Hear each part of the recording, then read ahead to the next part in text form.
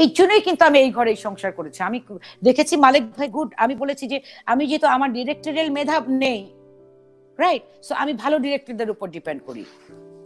ঠিক আছে? তো মালিক ভাইয়ের ছবিটা যখন করেছি মালিক ভাই দেখল প্রথম দিন ইমন তো আমার খুব ছোটবেলার বন্ধু সালমান শাহ। একদম জড়ায় টড়ায় ধরছে আমি ইমনকে বললাম কি তো আমি তো সবাই বলে পাগল একটু। আমি বললাম যে ইমন এই যে এখান থেকে প্রম্পট করবে আমি তো জীবনে ওই ডায়লগ বলতে পারব না। কি প্রম্পট করবে? আমার জন্য একটু কষ্টকর। শোনা আমরা একটু রিহার্সাল করে করি। আমি নাম ধরেই বলি কারণ একটা অন্যায়ের কিছু নেই। মনে করো আমাদের দেশে অপূর্ব নিশো মোশারফ ভাই চঞ্চল আরও বোধহয় দুই দুইজন তিনজন আছে আমি জানি না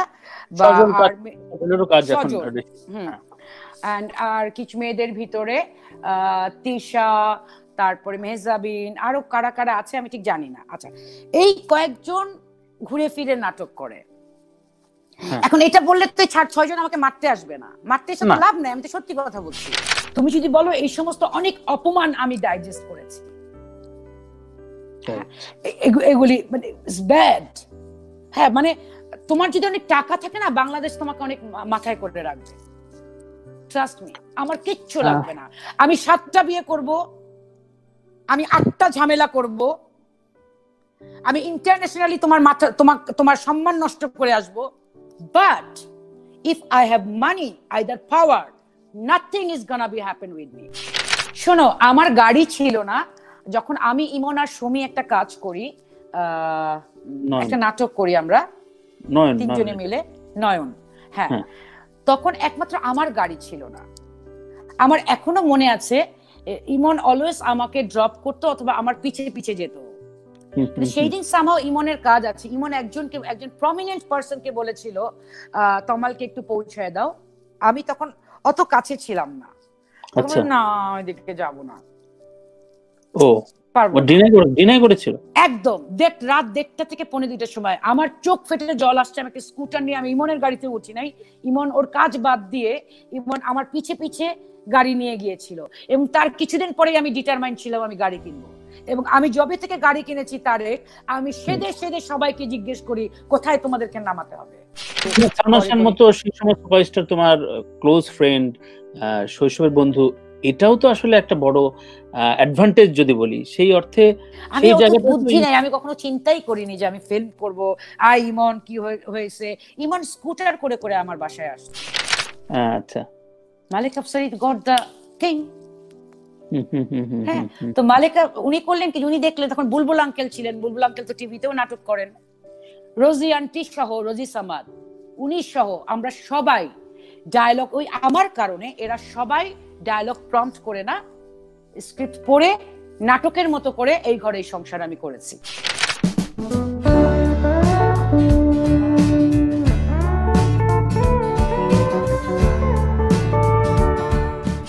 এই ভিডিওটি আমাদের নিজস্ব নির্মাণ মৌলিকভাবে প্রকৃত তথ্য তথ্যই আমাদের নিজের অবস্থান। খবর দিয়ে বিভ্রান্ত করা আমাদের উদ্দেশ্য নয়। এ কারণে সরাসরি তাই এই মূল ভিডিওটি কোনো কিছু কপি বা অন্য পোস্ট করলে যথাযথ ব্যবস্থা নিতে আমরা বাধ্য থাকব। হ্যাঁ আমি যখন মালিক আফসারির এই ঘরে সংসার করি মালিক হ্যাঁ। Afsari by himself contact with me উনি এখনও জীবিত। জিজ্ঞেস করো তার কথা এবং আমার কারণে উনি উনিশ দিনে ওনার ছবি শেষ করেছেন। ইয়েস ম্যাসিভ হিট ছবি। হ্যাঁ আমি তখন কি করেছি? তখন আমি একবার আমেরিকা চলে এসেছিলাম। আমার যখন ফিল্ম করার একটা স্কোপ ছিল কারণ আমার একটা রাগ ছিল কি যে আমাদের নাটকে সবাই এত সুইট কিন্তু ফিল্ম হিট হয় না কেন? নিয়ে নি যেমন হ্যাঁ, আমাদের খুব প্রিয় মানুষ ইমন শাহ জয়েন করেছেন। গুড টু সি তমাদি। ইমন আরও একজন মেধাবী আমাদের সেও ফ্লোরিডা আছে। সো হ্যাঁ, আমি জানি। স্বাভাবিক। ইমন আমি যখন প্রোডাকশন করতাম ও আমার অনেক নাটকের মিউজিক করেছে। He is a very good guy খুব ভালো ছেলে খুব ভালো মানুষ। কারণ ওরা দুই ভাই সত্য কাকুর ছেলে আমরা একসাথে অভিনয় করেছি। ছোটবেলায় আচ্ছা, আচ্ছা। শিশু শিল্পী হিসাবে সুমন। আচ্ছা আচ্ছা আচ্ছা। জনের এইস কিন্তু আমরা একসাথে কাজ করেছি। এবার একটু আমি অনেক ভালোবাসি। Thank you Emon. প্রসঙ্গে আসি যে মঞ্চ টিভি নাটক এবং চলচ্চিত্র তিনটাতেই বেশ উল্লেখযোগ্য উল্লেখযোগ্য। মঞ্চে তো বলার অপেক্ষা রাখে না। ফিল্মে যেই ধরনের যেই লেভেলে যে মার্জিনে কাজ করা হয়েছে তমালিকার এবং সাকসেসফুলি এরপরও আসলে সেই লিগেসিটা কেন রাখল না তমালিকা? রাখা হলো না। প্রথমবার প্রথমবার যখন আমি আমি যখন অন্য জীবন করি আমার প্রথম ছবি শেখ নিয়ামত আলী। ফিল্ম অনেক আমি পরে করেছি। অন্য জীবন। আমার প্রথম ফিল্ম শেখ নিয়ামত হ্যাঁ, আলী। হ্যাঁ, ওখানে সুযোগ পাওয়াটা আমি এগুলি না যেমন উত্তম দা এখনও বেঁচে আছেন উত্তম গুহ। হ্যাঁ, নিয়ামত আঙ্কেল না হয় মারা গেছেন। আমি একদিন আমার বাসায় এসে দেখি যে নিয়ামত শেখ নিয়ামত আলী এবং উত্তম দা দাঁড়ানো। আচ্ছা। আমি কোনোদিন কাউকে ফোন করে ক্যারেক্টার নিইনি তানভীর। হ্যাঁ, আমি যখন মালেক আফসারির এই ঘরে সংসার করি Malek. Afsari by himself contact with me উনি এখনও জীবিত। জিজ্ঞেস করো তার কথা এবং আমার কারণে উনি উনিশ দিনে ওনার ছবি শেষ করেছেন। ইয়েস ম্যাসিভ হিট ছবি। হ্যাঁ আমি তখন কি করেছি তখন আমি একবার আমেরিকা চলে এসেছিলাম। আমার যখন ফিল্ম করার একটা স্কোপ ছিল কারণ আমার একটা রাগ ছিল কি যে আমাদের নাটকে সবাই এত সুইট কিন্তু ফিল্ম হিট হয় না কেন? হ্যাঁ এই জন্যই কিন্তু আমি এই ঘরে সংসার করেছি। আমি দেখেছি মালিক ভাই গুড আমি বলেছি যে আমি যেহেতু আমার ডিরেক্টরিয়াল মেধাব নেই রাইট সো আমি ভালো ডিরেক্টরদের উপর ডিপেন্ড করি। ঠিক আছে? তো মালিক ভাইয়ের ছবিটা যখন করেছি মালিক ভাই দেখল প্রথম দিন ইমন তো আমার খুব ছোটবেলার বন্ধু সালমান শাহ। হ্যাঁ। একদম হ্যাঁ। জড়ায় টড়ায় ধরছে আমি ইমনকে বললাম কি তো আমি তো সবাই বলে পাগল একটু। আমি বললাম যে ইমন এই যে এখান থেকে প্রম্পট করবে আমি তো জীবনে ওই ডায়লগ বলতে পারব না। কি প্রম্পট করবে? আমার জন্য একটু কষ্টকর শোনা আমরা একটু রিহার্সাল করে করি। আচ্ছা। Malik Afsari God the king হ্যাঁ। তো মালিক উনি করলেন কি উনি দেখলেন তখন বুলবুল আঙ্কেল ছিলেন বুলবুল আঙ্কেল তো টিভিতেও নাটক করেন। রোজি আন্টি সহ রোজি সামাদ উনি সহ আমরা সবাই ডায়লগ ওই আমার কারণে এরা সবাই ডায়লগ প্রম্পট করে না স্ক্রিপ্ট পড়ে নাটকের মতো করে এই ঘরে এই সংসার আমি করেছি। আচ্ছা আচ্ছা আচ্ছা এবং তখন তুমি জানো আমি অত তো বুঝি না ফিল্ম তখন কি যেন কাট করলে রিয়ান করতে গেলে টাকা খরচ হতো রাইট একটা সময়। থার্টি ফাইভ হ্যাঁ। হ্যাঁ হ্যাঁ। তো আমি কখনো কোনো ডিরেক্টরের টাকা খরচ করাইনি। আমি এক শটে ওকে। মানে এনজি। না না না কোনো এনজিও হয়নি। বড় বড় ডায়লগ কারণ এটা তো আমার কাজই। এটা এটার জন্য আমার ইয়ে করতে হয়নি। সো যারা আমার বলে না যারা টিভিতে। কাজ করে তারা জানে যে মেমোরাইজ করে করতে হবে। সো ইমন এটা করেছে। ইমন পরে আমাকে বলল কি তমাল ফিল্ম করতে গেলে কিছু ট্রিক্স মেনটেন করতে হয়।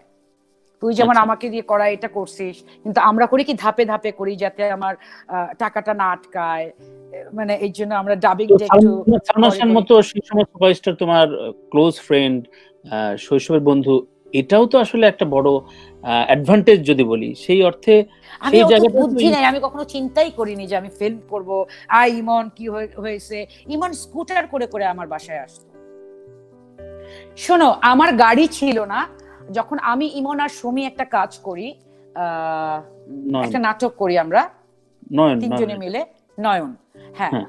তখন একমাত্র আমার গাড়ি ছিল না। আমার এখনও মনে আছে ইমন অলওয়েজ আমাকে ড্রপ করতো অথবা আমার পিছে পিছে যেত। সেই। দিন সামাও ইমনের কাজ আছে। ইমন একজনকে একজন প্রমিনেন্ট পার্সনকে বলেছিল তমালকে একটু পৌঁছায় দাও। আমি তখন অত কাছে ছিলাম না। আচ্ছা। না ওইদিকে যাব না। ও পারব ডিনাই করে ডিনাই করেছিল? একদম। দেখ রাত দেড়টা থেকে দুইটার সময় আমার চোখ ফেটে জল আসছে আমি একটা স্কুটার নিয়ে আমি ইমনের গাড়িতে উঠি নাই। ইমন ওর কাজ বাদ দিয়ে ইমন আমার পিছে পিছে গাড়ি নিয়ে গিয়েছিল এবং তার কিছুদিন পরেই আমি ডিটারমাইন্ড ছিলাম আমি গাড়ি কিনবো। এবং আমি জবে থেকে গাড়ি কিনেছি তারে আমি সেদে সেদে সবাইকে জিজ্ঞেস করি কোথায় তোমাদেরকে নামাতে হবে? তুমি যদি বলো এই সমস্ত অনেক অপমান আমি ডাইজেস্ট করেছি। এ- এগুলি মানে ব্যাড হ্যাঁ মানে তোমার যদি অনেক টাকা থাকে না বাংলাদেশ তোমাকে অনেক মাথায় করে রাখবে। ট্রাস্ট মি আমার কিচ্ছু লাগবে না। আমি সাতটা বিয়ে করব আমি আটটা ঝামেলা করব আমি ইন্টারন্যাশনালি তোমার মাথা তোমার তোমার সম্মান নষ্ট করে আসব। But if I have money either power nothing is gonna be happen with me আমি তমালিকা কর্মকার জোর গলায় এটা বলতে পারি। তাহলে তোমার এটা কি তোমার কথা শুনে ধরো নতুন যারা অভিনয় আসবে নতুন মেয়েরা যারা দেখছে তারা তো একটু ভয় পেয়ে যাবে আচ্ছা তারা কেউ দেখছে না। সবচেয়ে বড় কথা না না না না। হয় দেখছে না অথবা দেখলেও তোমার স্বীকার করবে না আমি দেখেছি। আমাদের অনেক প্রবলেম আছে জানো? আই মিন মানে- আমি তোমার এই লাইফটা আমি জানি আমি অনেক অনেক কথা বলব। আমি কিন্তু তোমার এই লিঙ্কটা আমি যেটা কখনো হ্যাঁ। করি না। আমি অনেককে মেসেঞ্জারে পাঠিয়েছি যেন সবাই এটা দেখে। আমি যাদেরকে মনে করেছি. হুম, আমাদের মধ্যে কিছু আছে দেখবে না দেখো পাই দেখছে হয়তো হয় ডিনাই করবে দেখবে না অথবা দেখবেই না। না দেখবে দেখে ঠিকই হয়তো স্বীকার অস্বীকারের ব্যাপার থাকে। আমাদের আহ, অনেকেই তো চিনি দেখছি তো দেখলাম তো প্রায় তেইশ চব্বিশ বছর ধরে। সো ওই ওই জায়গায় আমি বলছি না আমি বলছি যে ধরো যেই কঠিন ব্যাপার স্যাপার বললে এবং সত্য এটা ধ্রুব সত্য আহ, কিন্তু আমরা তো পত্রিকা খুললে বা আমরা নিজেরাই খবর ছাপি। অনেক অভিনেত্রী ওডি গাড়ি কেনে মার্সিডিস কেনে, হয়তো দেড় দুই বছরের ক্যারিয়ারে এগুলো বল, এগুলো গল্প ছাপার পরে তমালিকার এসব কথা কিন্তু আবার রিভার্স খুব সাংঘর্ষিক মনে হবে। যে না, ঠিক আছে, ও আচ্ছা এত ঝামেলা মানে তো কিছুই তো নাই মানে মানে আমার মানে কোন একটা মেয়ে হয়তো আসার জন্য অনুপ্রেরণা পাবে না। আমি যদি কেউ এখন এই মুহূর্তে যদি কোনো মেয়ে সত্যি প্রপারলি কাজ করতে চায় আমি বলব don't come don't do that হ্যাঁ অফকোর্স কারণ যদি কাছে ভালো কাজ তো হচ্ছে না। আচ্ছা। তুমি আমাকে বলো তুমি তো বললে যে গুটির ছয় সাতজন ছাড়া আমি নাম ধরেই বলি কারণ এটা অন্যায়ের কিছু নেই। মনে করো আমাদের দেশে অপূর্ব নিশো মোশারফ ভাই চঞ্চল আহ, আরও বোধহয় দুই দুইজন তিনজন আছে আমি জানি না। বা আর অ্যান্ড কিছু মেয়েদের ভিতরে তিশা তারপরে মেহজাবিন আরও কারা কারা আছে আমি ঠিক জানি না। আচ্ছা এই কয়েকজন ঘুরে ফিরে নাটক করে। হ্যাঁ। এখন এটা বললে তো ছাড় ছয়জন আমাকে মারতে আসবে না। মারতে এসে লাভ নাই আমি তো সত্যি কথা বলছি। হ্যাঁ হ্যাঁ তাই না? এবং কেউ রিস্ক নিতে চায় না। এদেরকে নিয়েই নাটক করে। নাটক কি হয়? প্রেমের নাটক। একটা নাটক বলে সাবস্ক্রাইবার ফাটাই ফেলছে ভিউয়ার্স এর জন্য। আমি ট্রাস্ট মি আমি অনেক কষ্টে কি যেন বাবা কেন কাঁদে, কি যেন একটা এরকম নাটক আছে। আমি অনেক কষ্টে দেখেছি। দেখতে গিয়ে আমার মাথা টাতা ধরে গেছে কোনো সাবজেক্ট নাই মানে কোনো কোনো কিচ্ছু নাই। চাকচিক্য গ্লামার কোনো দুঃখ নাই। মায়া নাই যেন বাংলাদেশের মতো একটা আমাদের দেশে কিন্তু অনেক সাবজেক্ট আছে তুমি ক্যান রাইট অবশ্যই। রাইট আমি এখনও কেন বারবার অনিমেষের কথা বলি? বারবার আমি